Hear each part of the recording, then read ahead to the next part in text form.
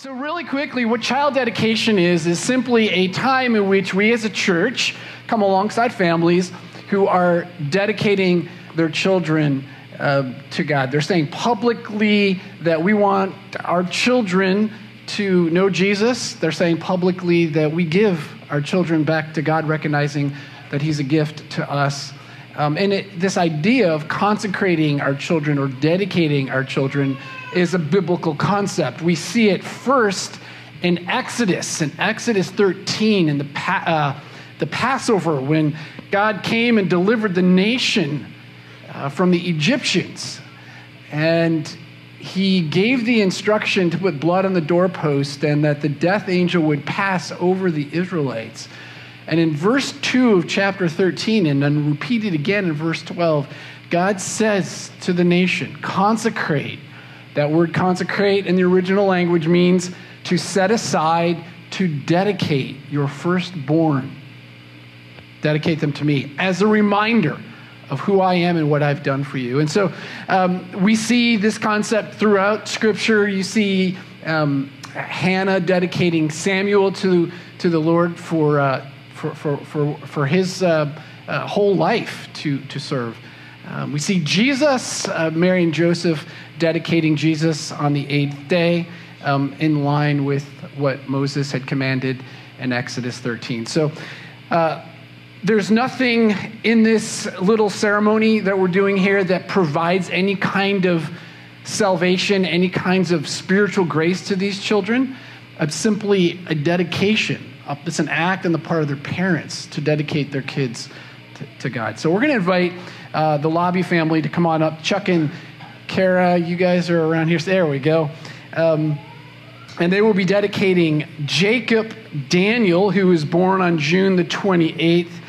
Uh, Jacob's got an older brother, Elijah, who is looking quite dapper today with his tie, looking all sharp.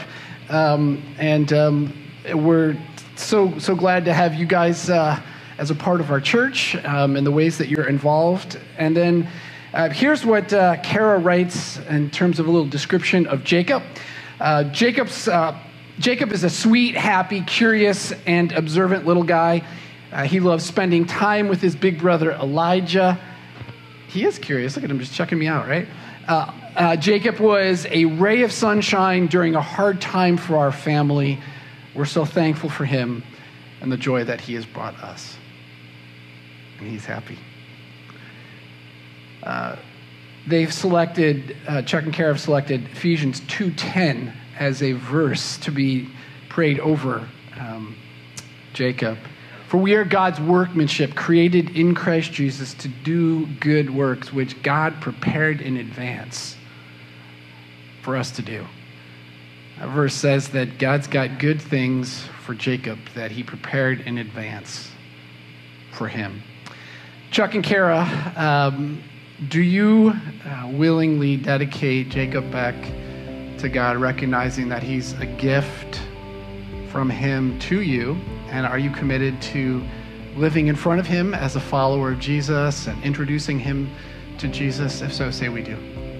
All right. Jacob, will you come to me? Think I can hold you without you crying? All right, big boy. Checking me out.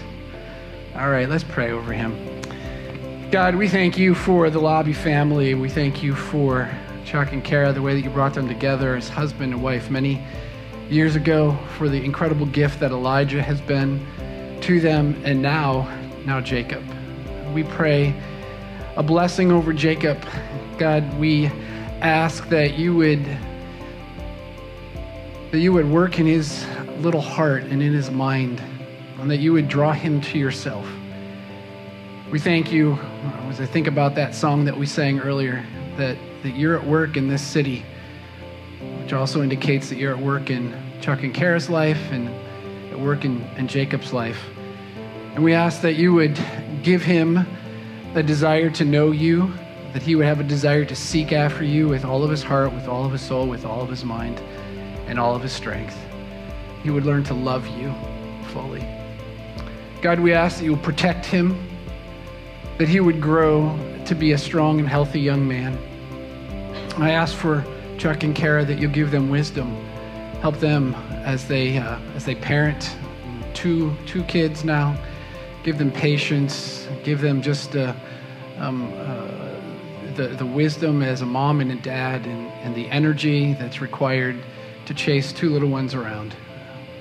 Just bless this family. Bless their marriage as husband and wife as well.